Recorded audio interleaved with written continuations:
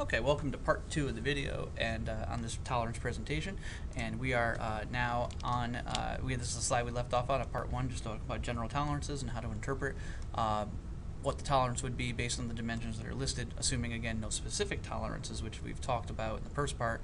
Um, we would obviously use decimal places for that. Okay, so let's move on to our uh, fit uh, discussion. Okay, so tolerance is obviously provided with parts that are going to be mated, parts that are going to be put together, and um, there, of course, that means they're going to fit together somehow. And there's uh, different ways that they can fit together, or how they're classified as far as how they fit together. So, basically, you control this with tolerance. And the idea is that you want to get either one or two of different types of fit, and there's a combination of these. So let's talk about these on an overall case. When you have a clearance fit, you're talking about a part that's got, uh, sorry, two parts that are being put together that are going to be there's going to be space between them when they're put together. So uh, if there's a clearance fit, that means that there's going to be something that's going to be, for example, inserted in. Maybe it's like an axle that's allowed to rotate. Um, that can be put into another uh, hole on another part. Uh, and if there's supposed to be space between them to allow, you know, to encourage um, the rotation of one part, that would be considered a clearance fit. Okay. Its opposite would be an interference fit. and if things are going to have an interference fit, that means that again they're going to fit together, but there's not going to be any space. As a matter of fact, there's actually going to be a lot of friction between the parts that are connecting, and that's useful obviously if you don't want that rotation. If you want them to fit snugly and fit firmly together, um, that would be an interference fit.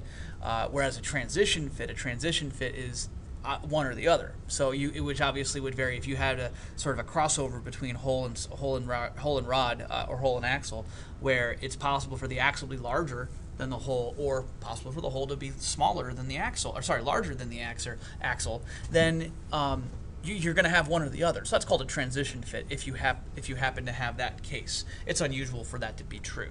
Um, so usually it's one or the other. Okay, so let's talk about how to interpret which one of them. So here's an example where we've got, uh, just so you can understand what's going on here, this is an axle rod. Uh, that's going to be put into an opening on another part. Uh, so this is going to be inserted into this. Okay, so you have a series of linear dimensions and they're aligned, so you have to kind of tilt, tilt your head to see it. That's okay. Uh, the rod itself right now has an upper limit of 10.00 and a lower limit of 9.92. So that means, you know, the, the highest it could be is 10.00 when you look at the um, axle hole in the other part, the lowest it can be is 10.15. So there's always going to be a clearance between these two parts. There's always going to be space between them, and it could be as little as 0.15, or it can be as much as 0.33. Uh, to indicate, so just, you know, for example, if this was 9.92 and this was 10.25, they would have a clearance of 0.33 uh, units, and probably inches in this case. So a clearance fit would always result based on these two an interference fit, if we kind of make, make the dimensions a little different, an interference fit will always happen if there's going to be uh, the axle that's going to be inserted is a little bit larger than the hole. And again, that's to encourage friction and encourage firm uh, a firm fit. So in this case, you're going to have an interference value of at least 0.02 or as high as 0.15, depending on which dimensions are true uh, between the parts. So an interference fit would happen there. Now, let's talk about the um, figuring this. Now, maximum material condition, let's define that first and what that means. Basically, when you manufacture a part, if it uses a lot of material, or the most amount of material, that's considered its MMC, which will generally happen if you have an external feature like a plate or a or um, something that's going to you know be fixed in place. Um, the MMC would just be the upper limit. So if you have a three three inch long rod okay, three inch long rod, and that's got a tolerance of 0.01. If it was 3.01, it's still get, it's going to use more material, okay. So that's called an external feature, okay. Now, most of in most cases, an internal feature is going to be a hole. It's going to be a depression. It's going to be something where there's material that's taken away, okay.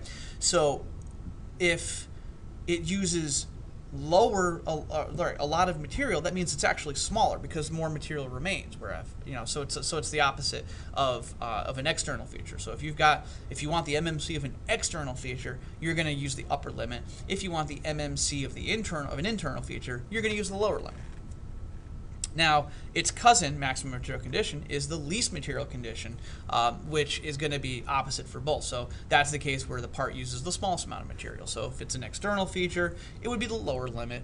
If it's an internal feature, it would be the upper limit. Okay. So again, if it's a hole, right? Think of the hole. If the hole is larger, that means it's using less material to be to produce. So it makes sense for the LMC to be uh, the upper limit for a hole. Okay, so that, that that's a little confusing at times. What I've done is actually, uh, as of the posting of this, there's a picture on my whiteboard of a little kind of Punnett square uh, sort of thing as to which limit you would use if you're using, if you're looking for the MMC or the LMC of an external or an internal feature. So if you're watching this video, you can see the on the board right there. I've got it on there, and I'll post a picture on Edmodo. Uh, so you know, obviously we use it again, and see what happens. Okay, now here's the difference. Or sorry, here's the use of it. For example, uh, allowance is a, num- a numerical value that allows you to determine a whether you've got clearance or interference, and also how much clearance or interference. So a really easy way to calculate this is if you calculate the MMC or take the MMC of the internal feature, the hole in this case, and subtract it from the MMC of the external feature. Okay, that's how you calculate allowance. Here's an example. So using that, using one of the uh, pictures from before. You see how we've got uh, the internal feature and the external feature. So the internal feature in this case is the on the right. It's the hole. Okay. So since it's a hole, the external feature, you would use the MMC. You would use the lower limit of that of that feature. So we would use the 10.15. Okay, 10.15. And then since we're going to use the subtracting by the MMC of the external feature, that's the rod, we would use the upper limit, the 10.00. So if we took the uh, lower limit of this and subtract it from the upper limit of this, that gives us a positive 0.15.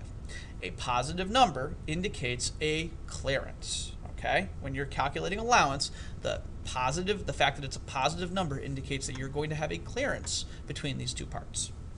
Now, take a look at our other example.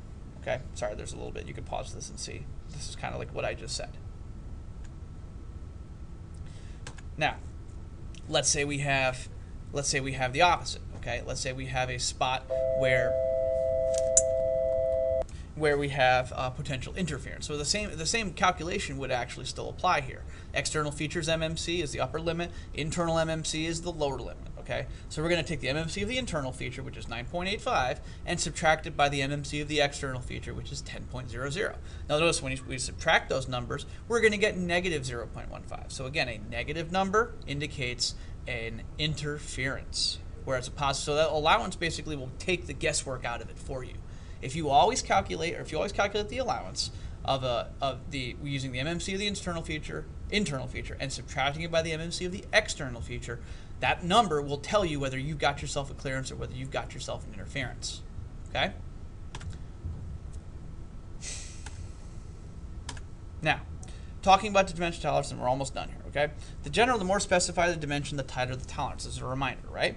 So precise dimensions and overly precise dimensions and overly tight tolerances will indicate increase manufacturing costs. So you always want to use a precision and tolerance that's necessary for the part to function properly. So if you're always looking for uh, an interference or always looking for a clearance, there's a way to use tolerances to control the fact that control that you would always get one of those two types of fits. But the more tolerance you have, the easier it is to manufacture, the less expensive it is, and uh, you know it's it's sometimes it's just a little bit of trial and error to make sure things work. So I uh, hope you enjoyed this presentation. Uh, the next video that I post will also will include sort of walkthrough of some of the specific directions on the activity.